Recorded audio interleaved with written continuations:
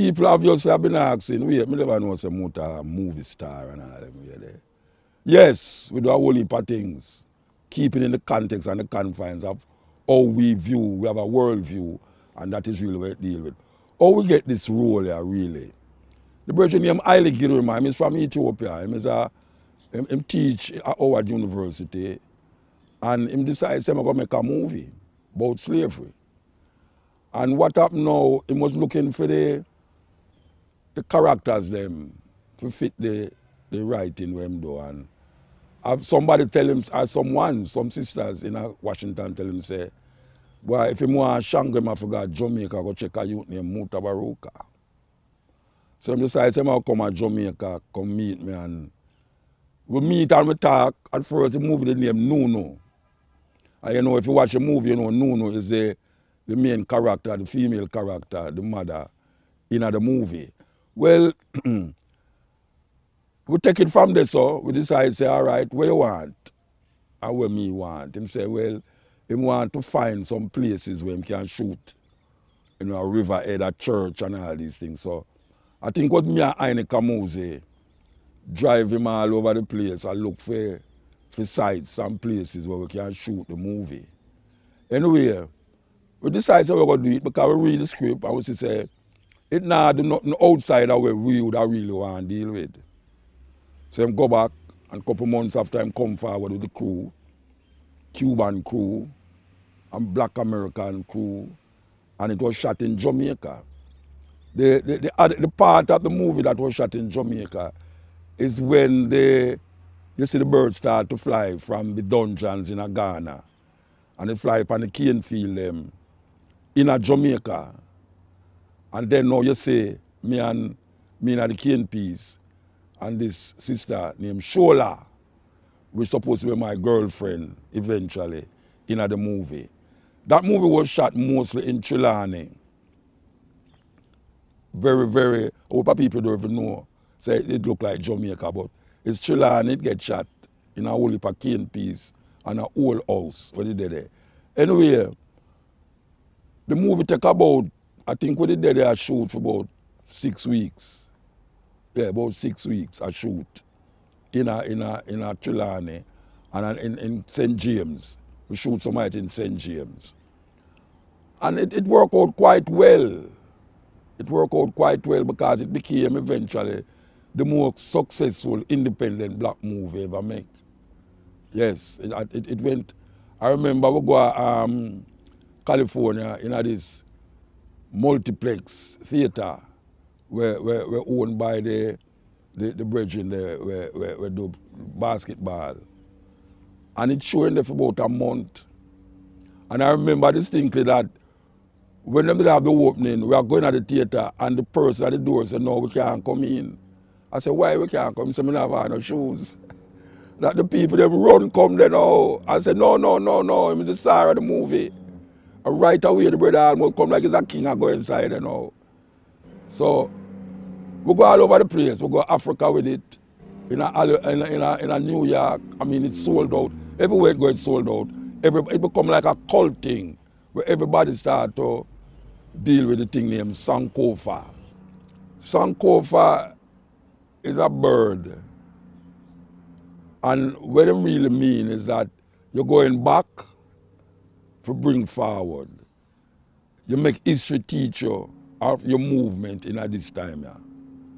And it became almost a word where most conscious Pan-Africanists and Africans start to use because of the movie. Now, it's really weird because I never know, say, it did go so hard for do. And I'm going to tell you why. It's like you do a scene, which is weird. I was in a movie all the while. Cut, cut, cut, cut. You're in a scene and, for instance, now we are run go up a hill. And then all of a sudden you hear cut. I say, what happened? Him say, why? You want to say, the, sun gone up, the cloud gone over the sun. You have to start over. And when them wait till the sun come up and then you run go up, him say, cut. Him say, why you want to say, the man the outside of the frame. I say, that me start cuss now, I say, boss, watch out now. You have to be a blood clot slave for you. Because you have been run up and down in this hill almost about 12 times already. cut, cut, cut, cut. You better do it right, do right now. So I will put them little thing there involved in the, the making of it and how we start to understand how movies made and sometimes you have, you have him say talk straight. Look straight ahead and talk. And you talk and you cut you, you talk and really and truly when you see the movie, it's somebody you talk to because them also cut the person by themselves attack and separate and you by separate. And when the movie come together, it's like the two have a conversation and the person when you talk to never every day they when you talk. You know? So all of them little things there, we understand and we realize. And a lot of the words them in there, I mean actually put them in there. Because him, him, him can't him don't know the Jamaican dialect. And what him did want which is very unique to that movie there too, is that him never want all of the slave them to have the same dialect. Because all of the slave them, all of the African them never come from one place.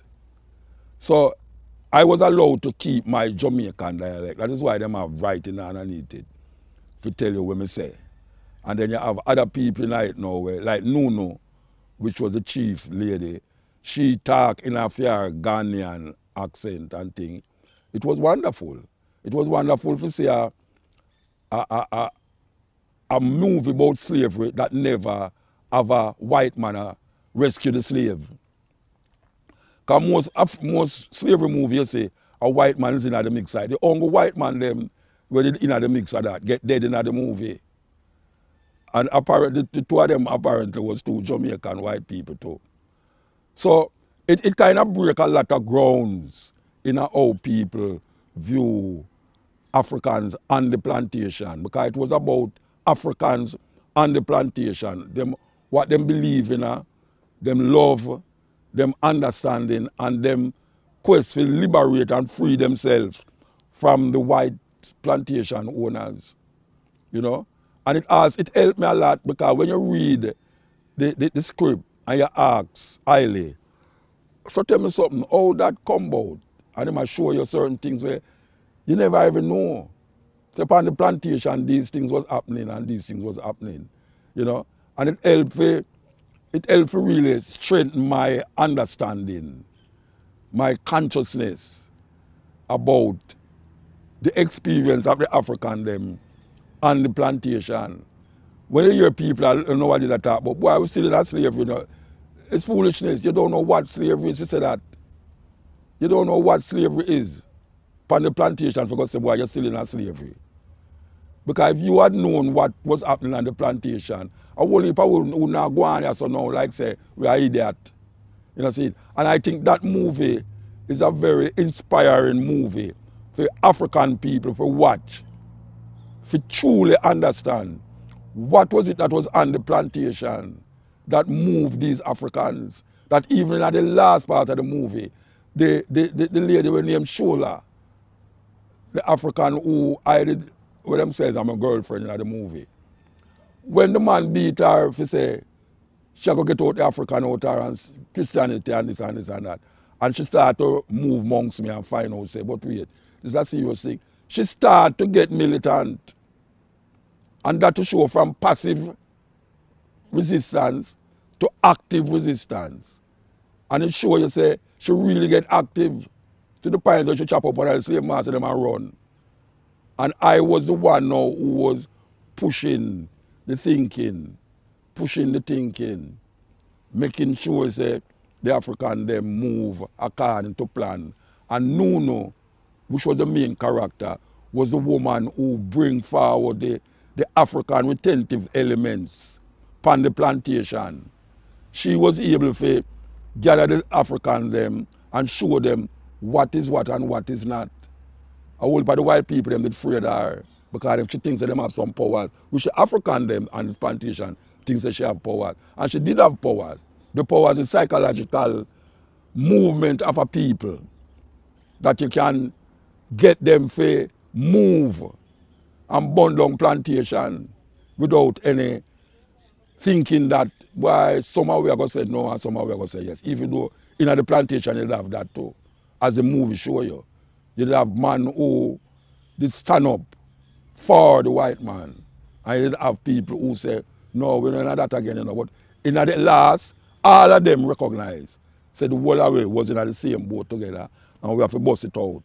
You know. And that is really something that I find that a lot of slave movies don't show. Them don't show the resistance of the Africans.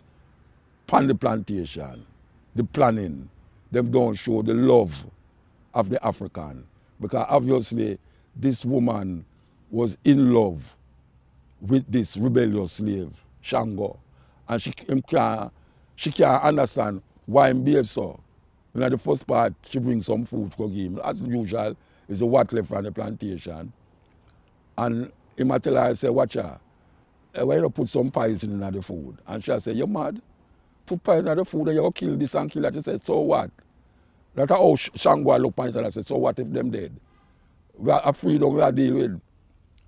And then now, she said, so tell me something. So what you think you are eat? I just say, master food. And you can't say him get vexed with her and spit out the food. You know?